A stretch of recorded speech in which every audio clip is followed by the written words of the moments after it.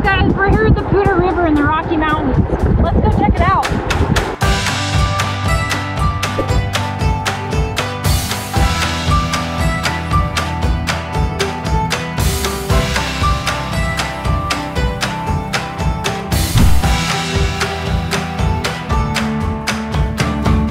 Hey, let's go check out this riparian ecosystem.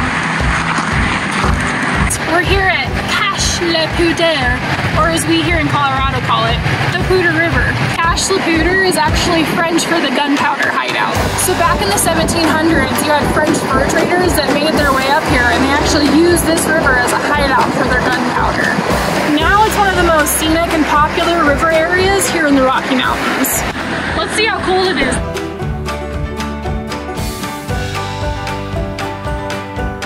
Yep. Feels like a glacial lake. The headwaters for this river are high up in the Rocky Mountains. They're alpine and glacial lakes, so by the time they get down here, it's freezing cold water. Can you imagine tubing this? Some crazy Coloradans, they find this is one of their favorite pastimes here in Colorado.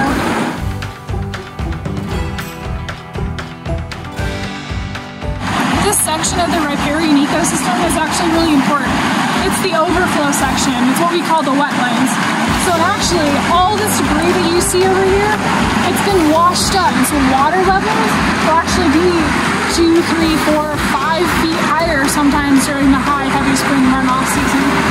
Lucky for us, we still got some of these little tide pools though before we get totally covered with water. I think I got one.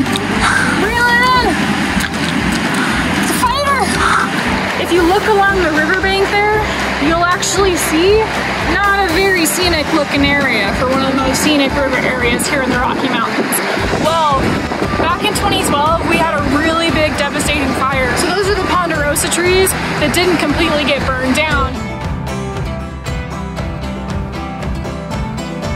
This, my friends, is a ponderosa pine, one of the most common pine trees here in the Colorado Rocky Mountains.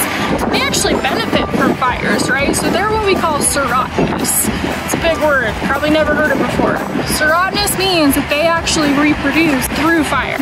These cones are nice and bundled up. So to release the seeds, it actually needs fire to reproduce. All right, so the fire heats up the pine cone when it's still up on the tree to the point where they burst open and the seeds can fly out of the pine cones, spreading all over in the area. Once it grows nice and big, you're gonna get an adult size ponderosa pine, right? It's got the really thick bark as illustrated right here. To make sure it's a ponderosa pine though, there's one distinguishing factor yeah, if you smell creamsicle or vanilla, it's definitely a ponderosa pine. Look how cool this pine cone is.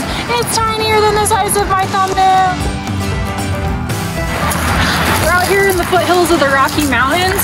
And one of the common things that you'll find is a plant that looks like this. What you'll notice about it, it's really, really fuzzy. This is what we call mullein. It's actually an invasive species.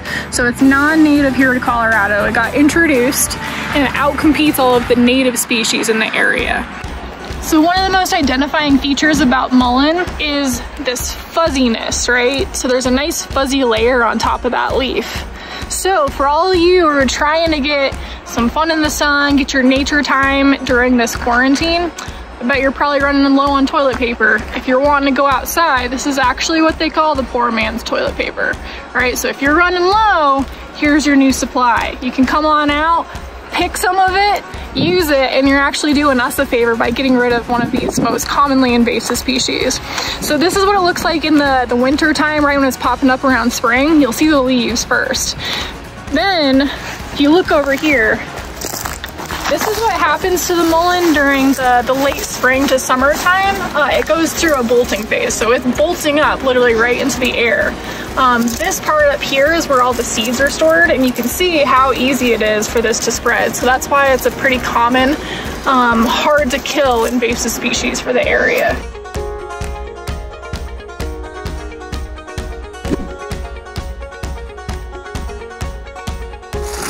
Just wanted to stop and take a second to appreciate all of these beautiful different colors that you see here on this rock. No, someone didn't spray paint this rock. This is actually a living being. these are actually what you call lichen. It's not a true plant. It doesn't even have roots. If you get a close up in here of it, try not to disturb too much of it, but it doesn't have any roots. It's literally attaching itself right to the rock. So what's cool about it is we call this thing, this lichen, a pioneer species. This is gonna be the first thing that starts to make an organic layer on top of plain old rocks. So at some point, you're gonna have this lichen die and it's organic matter, so it's gonna degrade and create that first layer of organic matter that you have that's going to give rise to then a new layer of plant species. So these true plants, right, they have roots. So they need to have soil to attach themselves in so they can suck up all those nutrients and water. Uh, but I mean, rock doesn't just have everything it needs. So we have to have this layer of lichen here to create that first layer of organic matter, which is why they're called the pioneer species.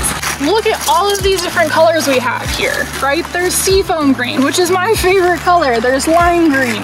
There's an amber shade of green. There's an orange and brown all the way up there. There's multiple different layers of black. It's a mosaic of what we call lichen. What's really cool about this? They're their own species of lichen. I don't know about you guys, but I'm liking this lichen.